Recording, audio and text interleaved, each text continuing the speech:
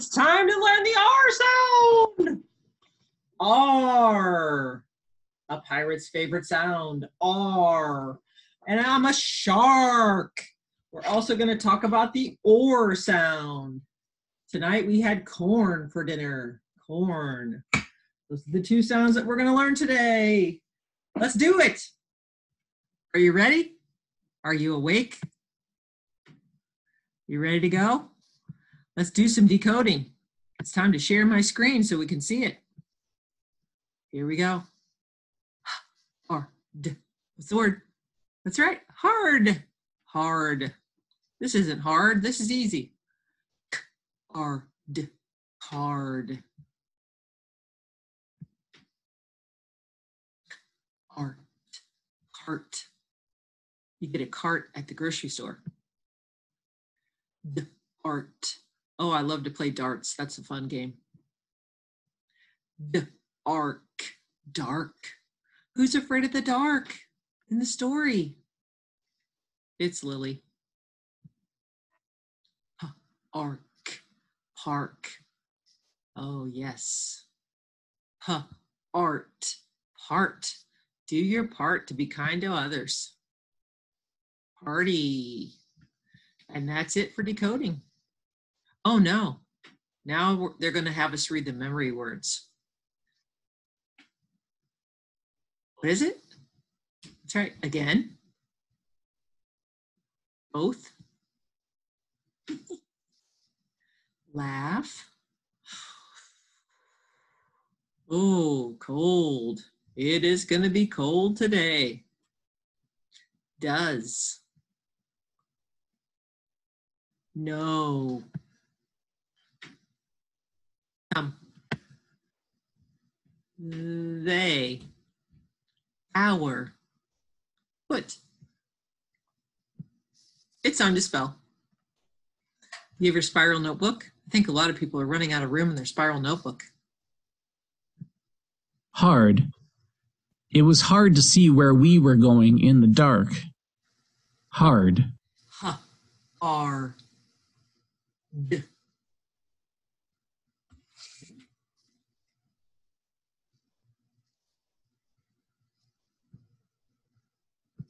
Card. Cass sent Tic a thank you card after the party. Card. C, R, D. If you can spell hard, you can spell card. Dark. The room was dark. Dark. R, K. Dark. Dark. One syllable. You know what that means? It does not end with a C. It ends with a K.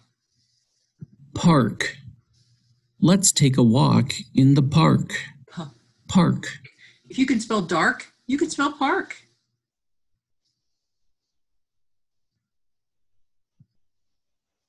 Here comes a sentence. The kids laugh at the party. I don't think I heard that. The kids laugh at the party. The kids laugh at the party. The, we can all spell the. Kids, kids. So is, who's friends with I? Is it C or K? Kids. The kids laugh at the party. Laugh. Laugh is going to be a hard one to spell very hard. We haven't practiced that enough. If we were at school, you could look on the, the smiley face and it would be up there in the smiley face. Let's take a look at it. The kids laugh at the party. His laugh really sounds like L A F. That's what it sounds like, but it's L A U G H. You know what I'm going to ask. Did you? Did you put a period at the end? Start with a capital letter? Every sentence starts with a capital letter. Nice job if you did. Let's read this. Let's read it together. I can't hear you. Tic and Cass both laugh at the last part of the story. Lily does not. And why wasn't Lily laughing? Yes, she was afraid of the dark. That is correct. All right, let's continue on. It's time to get our workbook out. And here comes Sandy. Sandy, are you here to help us with the workbook? No? And it looks like my computer is about to go dead. Sandy, I need to plug it in. See if we can find a plug. All right, so we are going to be on workbook page 73. Workbook page 73. I'll give you some time to find that.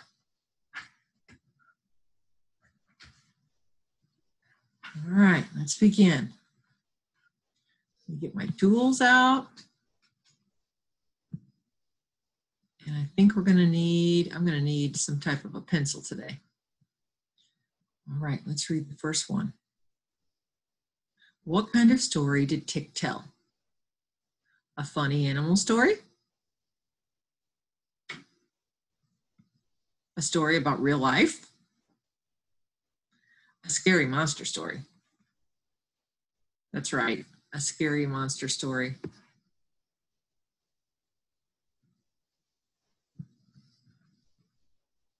All right, let's get some drawing here.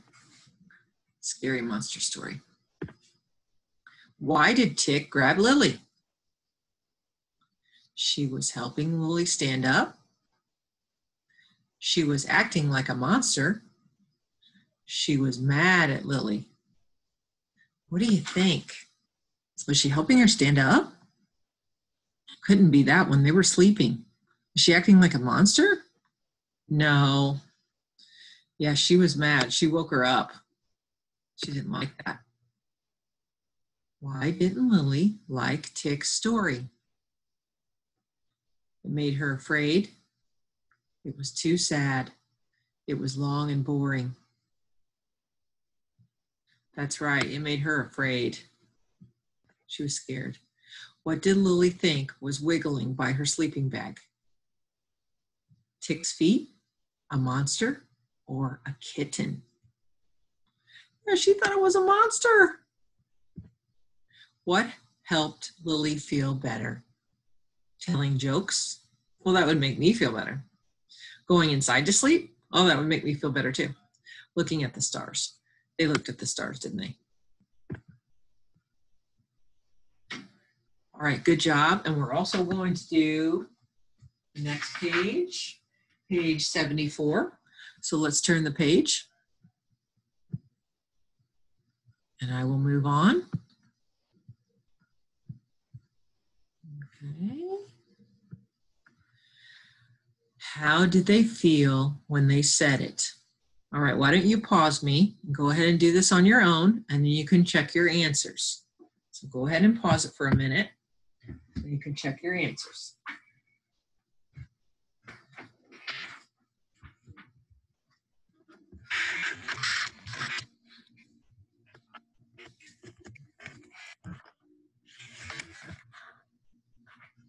All right, let's go over these. Let's see how you did. I bet you did fantastic. Tick said, We'll sleep in my backyard. How did that make them feel? Sad or happy? That's right, happy. The monster said, Who stole my pot of silver? How did that make them feel? Mad or sleepy? What do you think? How did they feel when they said it? All right, let's see. I've had some technical difficulties here. Let's see. Let's clear clear everything out and I'll start again. I think I need a darker color too so you can see it. All right.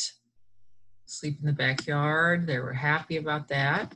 The monster said, Who stole my pot of silver? How did they feel when they said it? Did they feel mad or did they feel sleepy? All right, what do you think? How do you think they felt? Yeah, they said it. They said it in kind of a mad way, didn't they? Like, "Ooh, who stole that?" Lily said, "I don't like the dark." She wasn't bored, was she? She was afraid. She was scared. Tic said, why are you kicking my feet? That made her feel puzzled. She was puzzled. She didn't know what was happening. And the last one, Lily said, I like the way the stars sparkle. Did that make Lily happy or upset? That's right, it made her happy. She said, I'm H A P P Y, I'm H A P P Y. I know I am, I'm sure I am, I'm H A P P Y. Happy. She was happy. All right, we are done with that. We're done with the workbook. You can close your workbook for the day.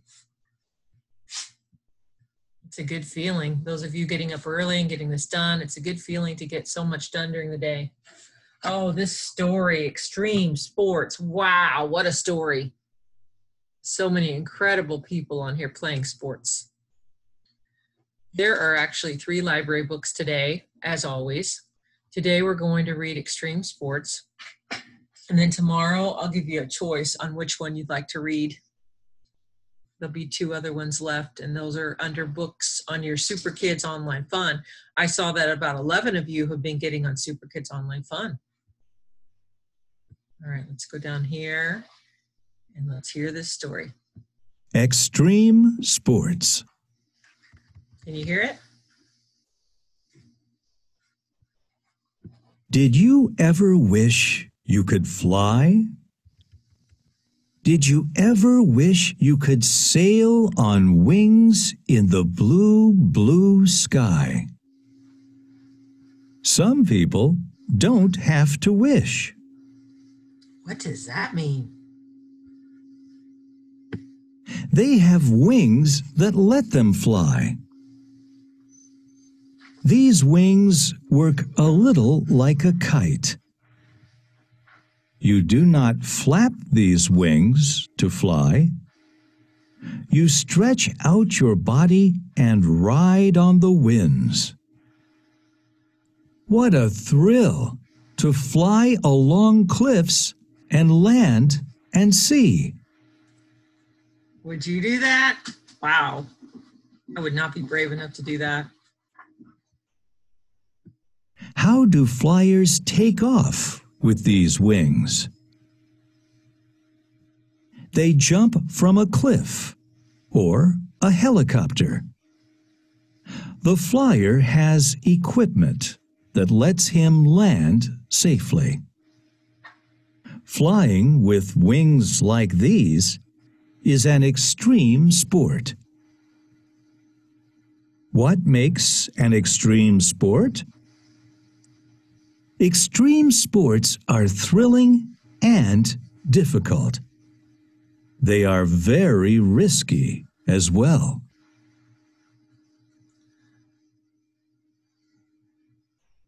I noticed down here they said the word they, but it only says the word the. The. It's supposed to say they jump from a cliff, just just as they read it. That must be a typo. Surfing can be another extreme sport. In surfing, you paddle out to sea on a board. Then you scramble to your feet and ride the waves back to the beach. It's fun to surf on easy waves, but riding the big ones is extreme. Mrs. Jackson tried surfing when she went on a vacation. She said it was really fun. It is the same with skateboards. Many kids ride skateboards and do simple tricks for fun. But some riders can make a skateboard flip and spin. They can do a big jump, land on their board, and take off to do the next trick. Skateboard tricks have names like kickflip, backflip, and stalefish grab. Some will make you gasp. But for an extreme skateboarder, the tricks are a blast. I used to skateboard, but not, I didn't do any of these tricks. Snowboarding is a bit like skateboarding. There are lots of snowboarders, but not many of them do extreme tricks like this man. Snowboarders blast over the top of a hill. They leap and twist and land with a swish.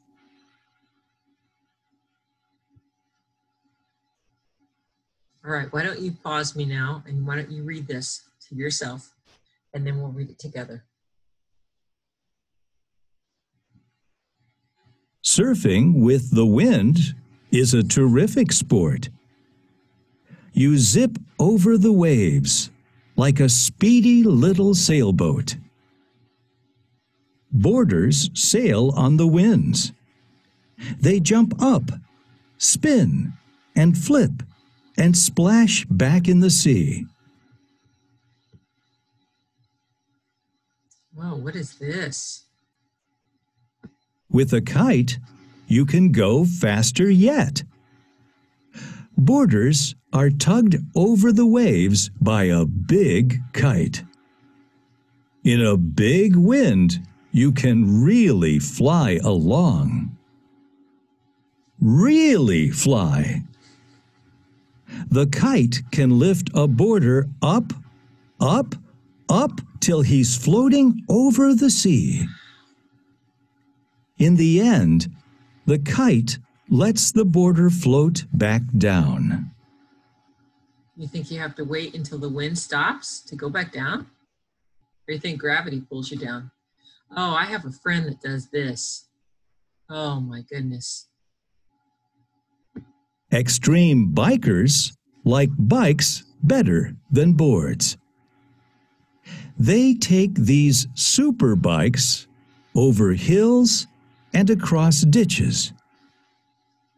These bikers can ride on just one wheel. They may speed up a steep ramp and jump a long way before they land. Some stunts seem impossible. Like this one right here. Wow, that looks that looks impossible, doesn't it? Wow, these people have to be brave. And let's not forget about climbing. Extreme climbers like the steepest cliffs. A climber will hug a wall of rock, clinging to little cracks. A climber dusts his hands so they will not slip. He clips himself to a rope for safety. Little by little, the climber scrambles up the cliff.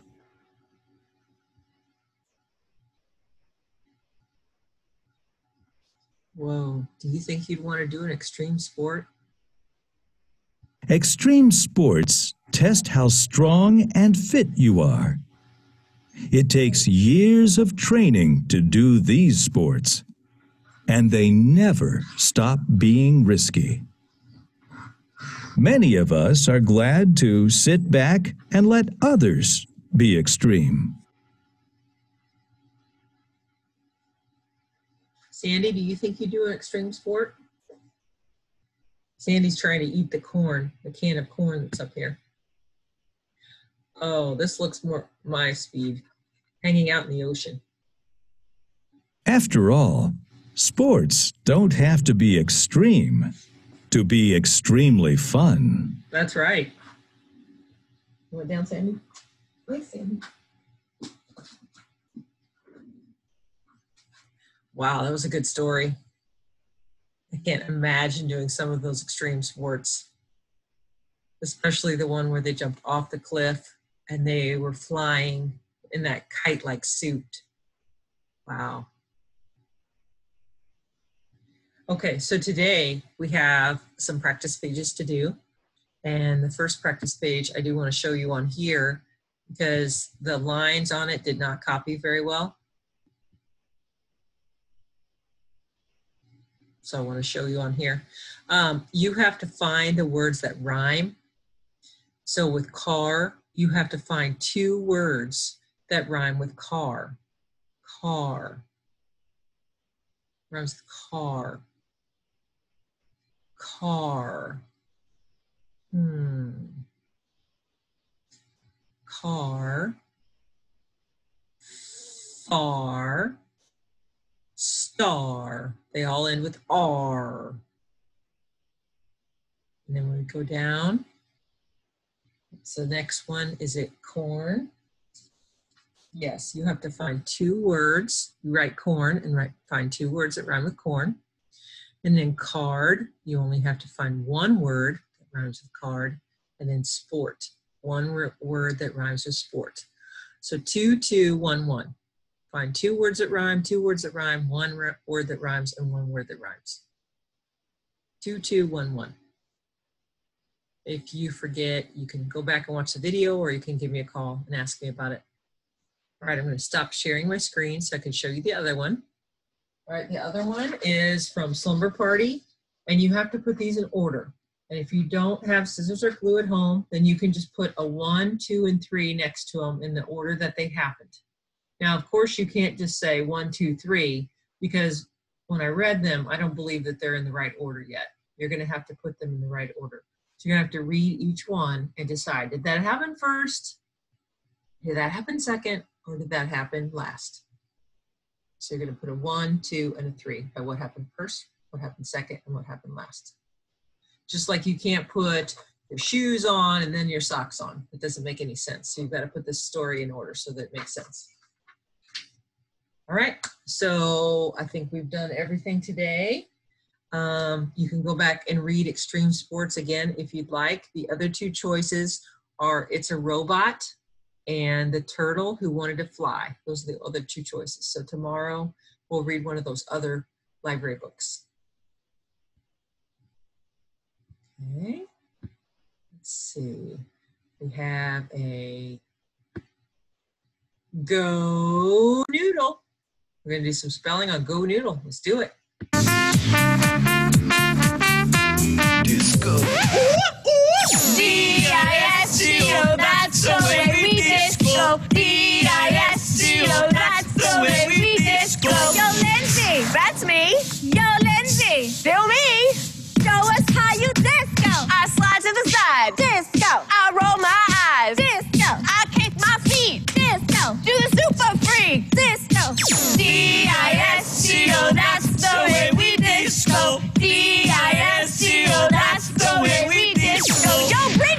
That's me. Yo, Bridget, still me.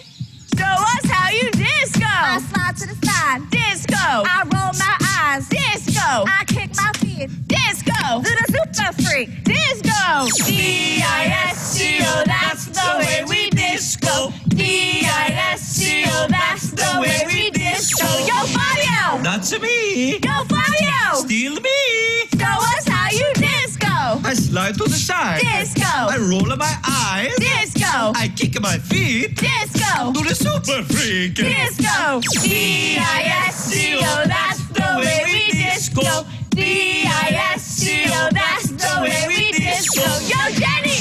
That's me. Yo, Jenny. Still me. Show us how you disco. I slide to the side. Disco. I roll my eyes. Disco. I kick my feet. Disco. Do the super freak.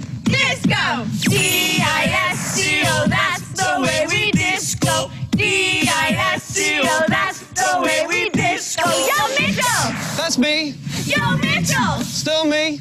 Show us how you disco. I slide to the side. Disco. I'll roll my eyes. Disco. I'll kick my feet. Disco. Do the super freak. Disco. D-I-S-C-O, that's the way we disco. D-I-S-C-O,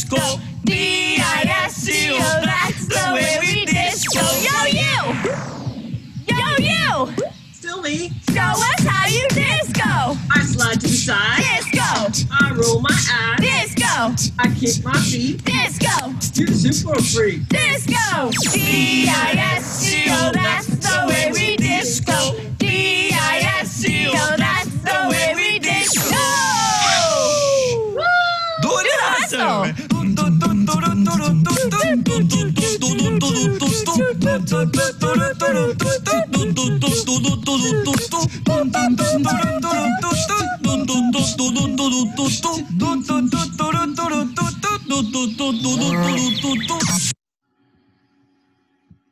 was fun.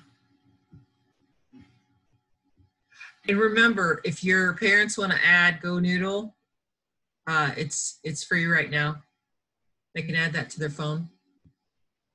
If you're allowed to do other GoNoodles. So um, the math game for today is going to Boston. I hope that you'll watch the math video and play Going to Boston with someone. That was a really fun game that we played. And you'll also be writing in your journal. And I can't wait to hear what you write about. I hope you have a great day.